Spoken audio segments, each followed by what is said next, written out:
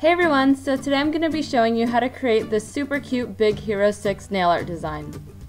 First start off with a base coat and then paint your nails one coat of a white polish.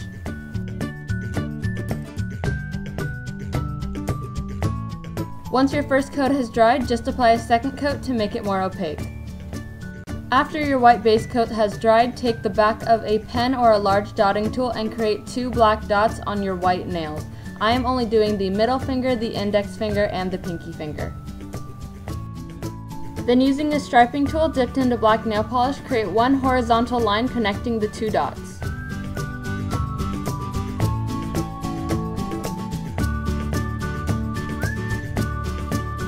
For the ring finger, I'm going to be taking a red polish and a small striping tool and creating the number 6. Since the 6 in the logo is a very squared off version, I'm going to be creating one vertical line on the left hand side of my nail and then one horizontal line on the top and connecting the two.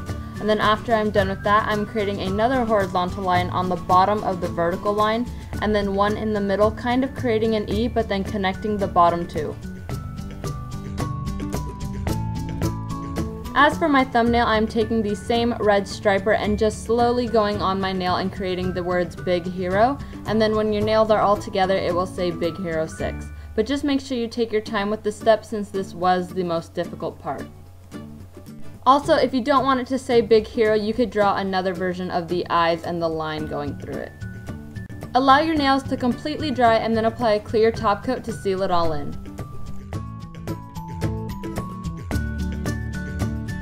And that's it. Thank you so much for watching. Please don't forget to subscribe if you haven't already and like this video if you enjoyed it. Bye!